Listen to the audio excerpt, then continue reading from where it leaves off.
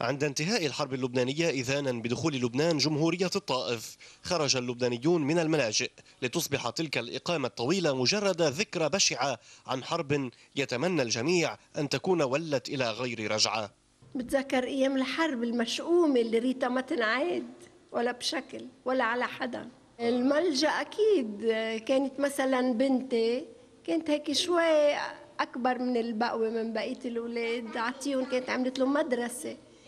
عندها تلاميذ يجوا البناية كلها أولاد البناية أولاد الجيران يجوا كلهم يتعلموا. كانت عملت لهم صف كامل. شو الأيام الملجيه مسخة كانت أيام حروب.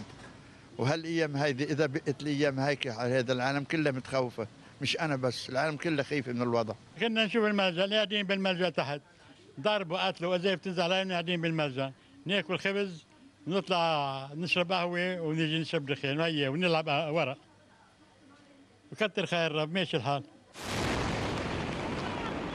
إلا أن التهديدات الإسرائيلية المستمرة والحروب المتكررة في خلال سنوات السلم المفترض الأخيرة بالإضافة إلى ارتفاع منسوب الاحتقان الداخلي متأثرا بالتطورات الإقليمية ذكرت اللبنانيين بزمن الملاجئ. لكن هل لبنان مستعد لاستضافة حرب جديدة على أرضه خصوصا بعدما تم تحويل الملاجئ بعد الحرب إلى مواقف سيارات ومستودعات مهملة بناء على أكثر من تشريع لم يعد يلزم ببناء الملاجئ مثل قانون 71 على 57 هذا القانون الذي بموجبه تم استبدال الملجأ برسم مالي للمباني المشيدة بعد عام 94 لبنان بحالة صراع مستمر مع إسرائيل. لا نعرف متى تبدأ الحرب ولا نعرف متى آه، تنتهي. من هنا أهمية الملاجئ. هلأ عندما نتحدث عن الملاجئ الملاجئ ضروريه والقانون يفرض هذا الموضوع. اليوم أنت تبني الملجأ من ضمن استراتيجية دفاعية. شو دور البلدية بالملاجئ؟ آه، شو دور الإنذار المبكر يا أخي إذا اجى من إسرائيل صاروخ طويل بعيد المدى. إسرائيل عندها بين ال 10 و 15 سكند يعني آه، إنذار. بتقدر تنزل على الملجأ.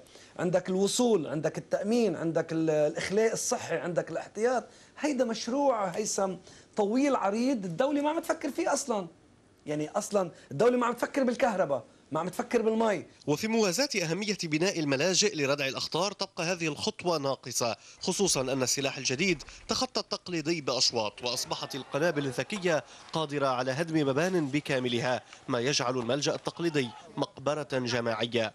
الأمر الذي يستوجب إنشاء ملاجئ نموذجية تتمتع بمواصفات عالمية تقاوم كافة احتمالات الأخطار كتلك التي بنتها سويسرا لمواطنيها. وإذا نظرنا حولنا فالنموذج نفسه يعتمده أيضا العدو الإسرائيلي.